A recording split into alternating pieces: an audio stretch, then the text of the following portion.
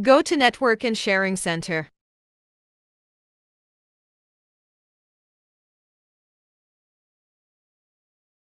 Click the properties and just follow the steps shown above.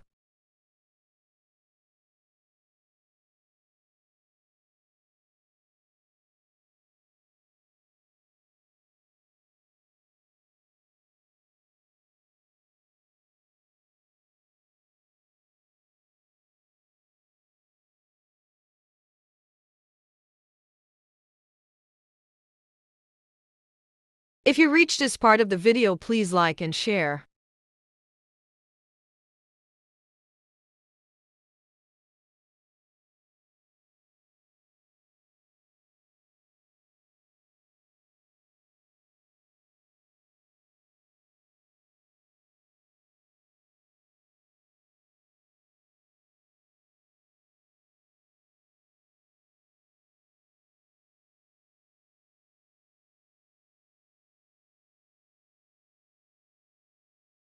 Search for dcpromo and just follow the steps shown above.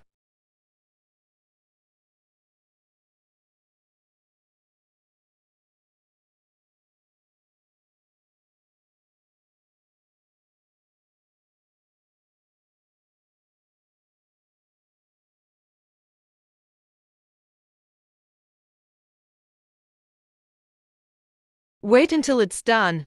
After that, you're good to go.